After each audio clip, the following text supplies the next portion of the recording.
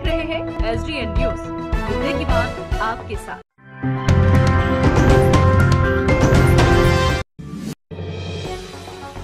पश्चिमी चंपारण के बघा नगर के डीएम एकेडमी के प्रांगण में गुरुवार को राष्ट्रीय शायर और संचालक डॉक्टर शकील मोहिन के पैंसठवीं जन्मदिन के अवसर पर कवि गोष्ठी का आयोजन किया गया। कार्यक्रम की अध्यक्षता भाजपा के जिला अध्यक्ष रविंद्र श्रीवास्तव एवं मन संचालक कुशल प्रवक्ता दीपक राही ने किया।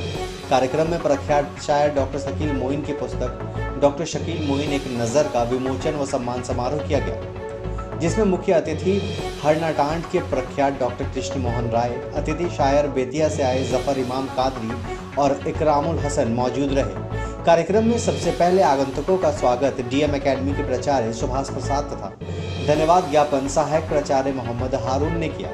कार्यक्रम में डॉक्टर शकील मोइन के जन्मदिन के अवसर पर बगहा के कवि और बुद्धिजीवियों ने अपने अपने संबोधन में डॉक्टर शकील मोइन को बगहा का कोहिनूर बताया और उनके कुशल मंगल एवं दुर्भायु की कामना की।